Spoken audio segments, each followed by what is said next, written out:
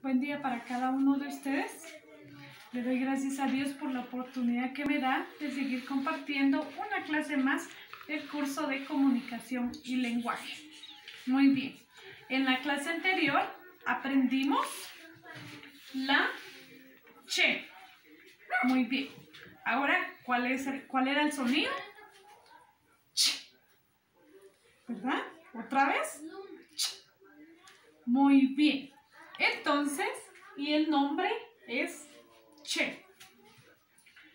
Dijimos que estaba compuesta por dos letras, por la C y por la H.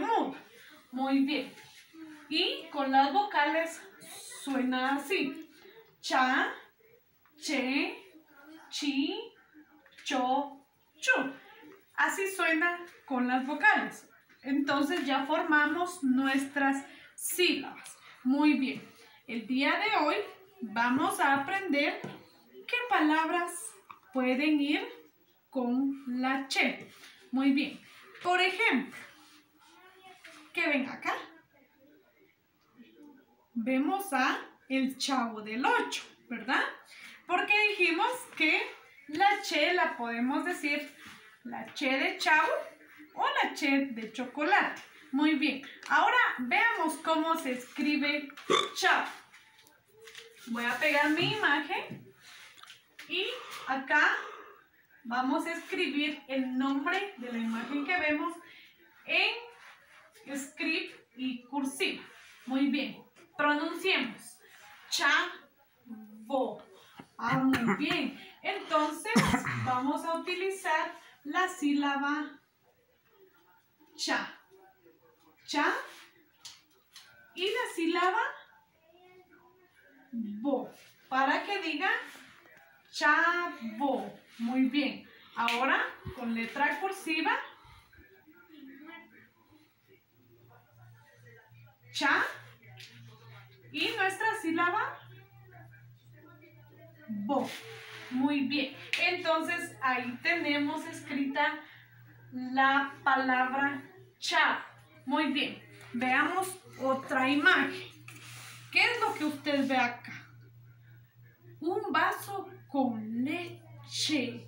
Muy bien. Entonces, ¿qué palabra lleva la che? Leche. Muy bien. Ahora escribamos. ¿Con qué sílaba va escrita la palabra leche?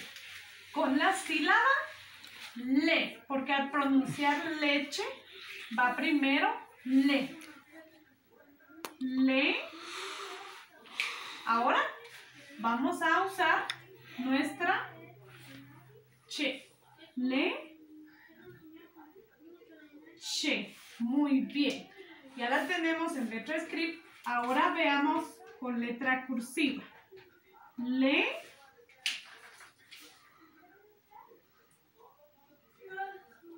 Che. Muy bien. Si vemos acá con letra cursiva, siempre va a ir tomadita de la mano cada letra. Leamos. Leche y leche. Veamos otra imagen. ¿Qué es lo que usted ve acá?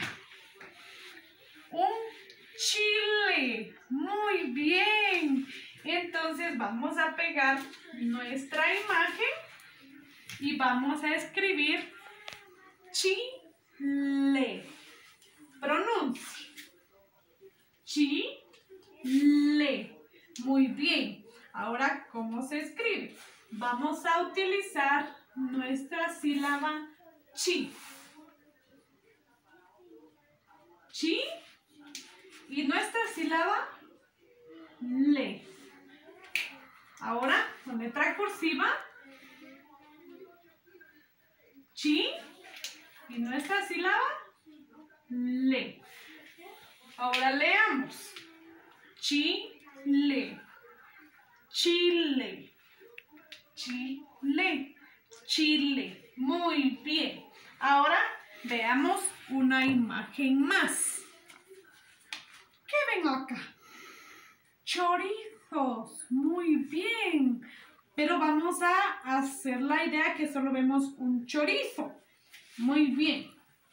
pego mi imagen y escribo con letra script y letra cursiva. Entonces, pronuncio chorizo. Ah, muy bien. Voy a usar mi sílaba cho. Cho. Mi sílaba ri. Y mi sílaba so.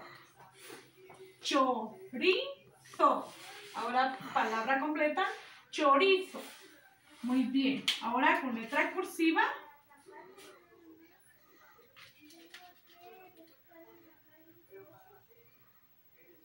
Cho.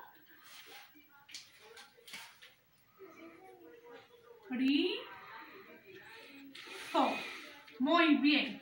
Ya tengo mi palabra chorizo. Si vemos, van de la mano. Muy bien. Ahora veamos otra imagen. ¿Qué es lo que usted ve acá? Una lechuga. Muy bien. Ahora aprendamos cómo se escribe lechuga. Muy bien. Vamos a hacerla con letra script y letra cursiva. Pronunciemos. Lechuga. Muy bien. Entonces empezamos con nuestra sílaba le y vamos a usar nuestra sílaba chu, le, chu y nuestra sílaba ga, ga. Muy bien. Ahora con letra cursiva, le,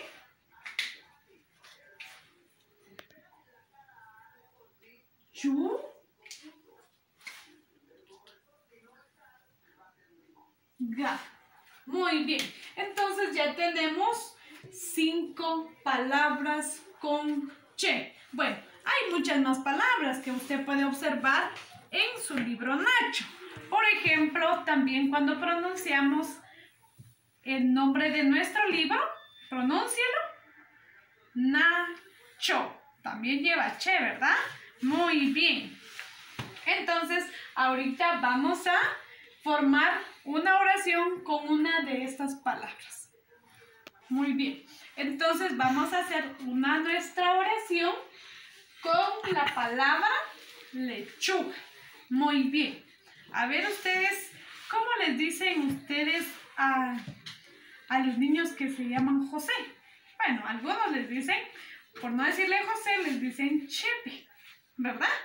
Entonces vamos a tomar esa palabra, o sea, ese nombre, porque utilizamos la che. Ahora escribamos con letra, script, inicial, mayúscula, grande, ¿sí? Ahí está. Chepe, espacio, porque es otra palabra. Come es una palabra más. Come. Ahora otra palabra. Su. Ahora otra palabra. Le.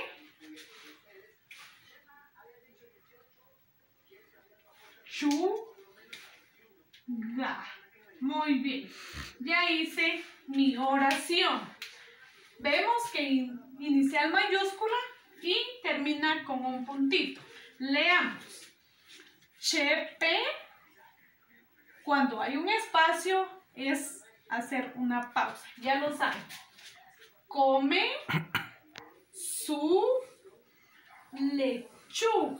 Muy bien. Ahora, realicémosla con letra cursiva inicial mayúscula, Chepe come su le Chu. Ga. Muy bien, entonces ya tenemos nuestra oración con la palabra chepe, que lleva che, y lechuga, que también lleva che. Muy bien, espero que ustedes hayan aprendido en esta clase y recuerden, practique los trazos en su cuadernito y en el folleto y en el folleto verde y la lectura en su libro Nacho. No lo tome como decir tengo mucha tarea, no. Tómelo como de la manera de que quiero aprender, quiero hacerlo porque quiero ser mejor cada día. Dios le bendiga y seguimos en la próxima clase.